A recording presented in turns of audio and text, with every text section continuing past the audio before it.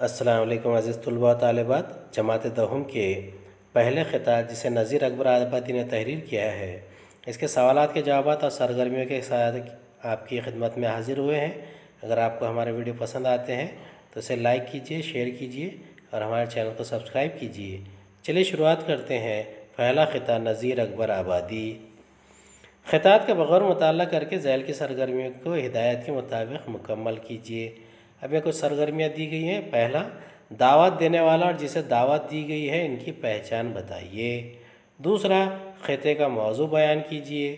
तीसरा, ख़त्े के खवाफी को मानी के साथ लिखिए। ख़त्े की सरगर्मियाँ। पहला, दावत देने वाला शायर है और जिसे दावत दी गई है, वो शायर का महबूब है। दूसरा, दूसरे का जवाब है, ख़त्े का मौजू महबूब की सितम ज़रीफ़ी को पुरलुत्फ़ अंदाज में बयान करना है।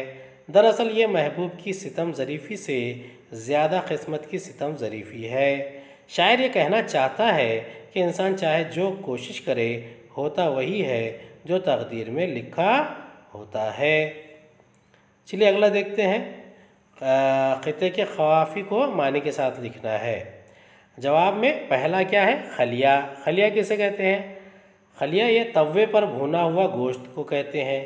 दूसरा, घी में भू भून कर शोरबेदार पका हुआ गोश्त इसे भी खलिया कहते हैं। बलिया बलिया यहाँ बुराद, धनी यानी तंजन कहा गया है।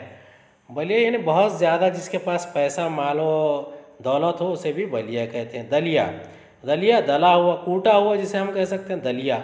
मोटा, पीसा हुआ अनाज जो कच्चा हो या पिसा हुआ हो, उसे क्या कहते हैं? दलिया। चौथा है जैल में से गलत बयान को सही करके लिखिए। पहला, दावत में खीर पकाई गई थी। दूसरा, शायर पर दावत की वजह से दोहरी मार पड़ी थी। तीसरा, दावत में शायर का दोस्त आया था। अब इसके जवाब देखते हैं। बयान सही है या गलत? पहला बयान, ये बयान गलत है। उसका सही बयान क्या है? दावत में पुलाव और खलिया पकाया गया था। दूसरा, ये बयान भी गलत है। इसका सही बयान क्या है? ज़ियाफ़त के लिए शायर ने क़र्ज़ उठाया था। तीसरा तीसरा ये बयान भी गलत है। सही बयान क्या है? दावत में शायर का रकीब आया था। उम्मीद है ये वीडियो पसंद आया होगा। अगर हमारा वीडियो पसंद आया है तो अगले वीडियो में दोबारा मुलाकात होगी। तब तक